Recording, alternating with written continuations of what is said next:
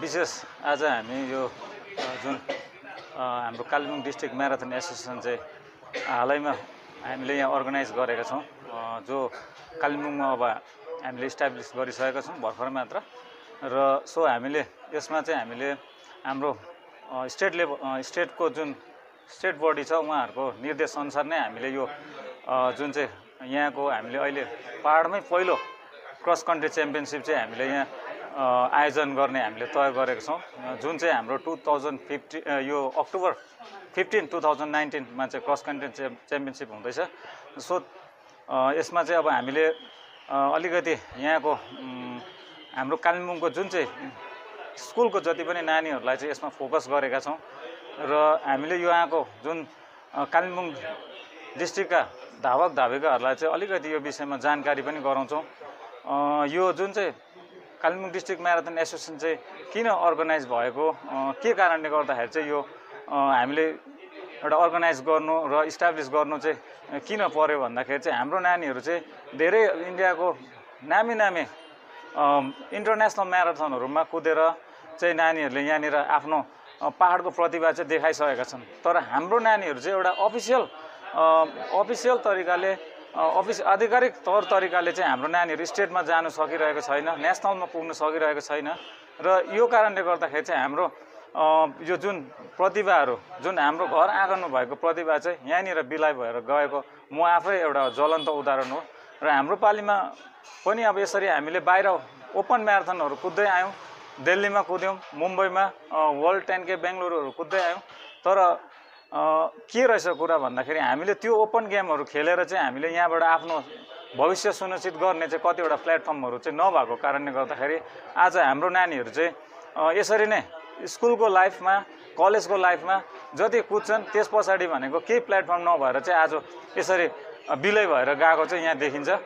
र यसलाई नै यो कुराहरूलाई चाहिँ अब हामीले बुझेर लाँदाखेरि चाहिँ हामीले यसलाई एउटा स्टेट बडीमा यो कुरा राखेका छौँ र हामीले राखेर यसलाई एप्लिकेसन लिएर आएर चाहिँ आज हामीलाई चाहिँ यो जुन चाहिँ कालिम्पोङ डिस्ट्रिक्ट म्याराथन एसोसिएसनले चाहिँ अब भोलि गएर नानीहरूलाई चाहिँ यसरी अफिसियल तरिकाले state level national level international लेभलसम्म पुर्याउने एउटा मेन उद्देश्य रहेको छ हाम्रो एसोसिएसनको।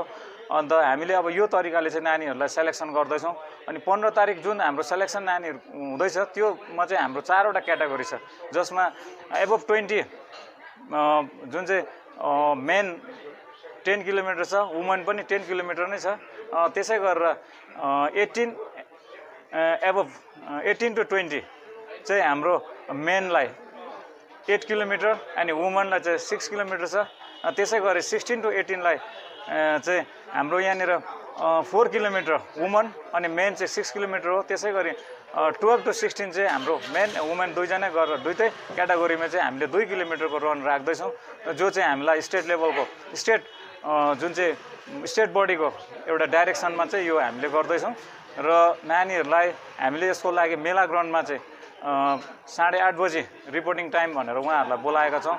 र नानीहरू चाहिँ अब खुबै जोससँग चाहिँ यस कम्पिटिसनमा भाग लिन चाहिँ उहाँहरू तयारी भएर आउने हामी यहाँबाट आग्रह गर्दछौँ। त्यसै गरी अब हामीले यस च्याम्पियनसिपलाई अगाडि बढाउनु लागि चाहिँ हामीले सिक्सटी प्लस स्कुलहरूलाई चाहिँ हामीले निमन्त्रणा गरिसकेका छौँ र स्कुल पक्षलाई पनि हामी रिक्वेस्ट गर्छौँ कि तपाईँहरूले नानीहरूलाई चाहिँ काइन्डली यो च्याम्पियनसिपमा पार्टिसिपेट गर्नको लागि चाहिँ तपाईँहरूले धेरैभन्दा धेरै पार्टिसिपेन्ट्सहरू पठाइदिनुहोस् भन्ने हामी आग्रह गर्दछौँ। यो यो जुन चाहिँ क्रस कन्ट्री च्याम्पियनसिप चाहिँ पाहाडको पहिलो क्रस कन्ट्री च्याम्पियनसिप हो। जुन चाहिँ आज यसलाई हामीले खोजेर निकाल्न सकेका छौँ।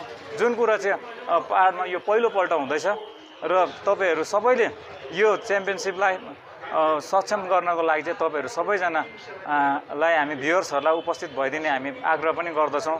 साथै अब हामीले यो च्याम्पियनसिप एकदम छोटो समयमा भएकोले गर्दाखेरि हामीले कतिवटा तयारीहरू पुरा गर्न सकेनौँ। हामीलाई गभर्मेन्टको कतिवटा सहुलियतहरू पुरा हुन सकेन। त्यो भएको छैन तर पनि हामीले सानसानो सङ्घ संस्थाहरूसँग व्यापारी वर्गहरूसँग सबैसँग आग्रह गरेर यो च्याम्पियनसिप चाहिँ हामीले सक्षम गर्ने तय गरेका छौँ र तपाईँहरू सबैलाई हामी निवेदन पनि गर्दछौँ कि तपाईँहरूको सानो सहयोगले आज भोलि हाम्रो नानीहरूको भविष्य उज्जवल हुन्छ र हाम्रो नानीहरूको भोलि एउटा जब केरियरमा एउटा सुनिश्चित हुन सक्यो भने यो हाम्रो कालिम्पोङको एउटा गौरव पनि हो।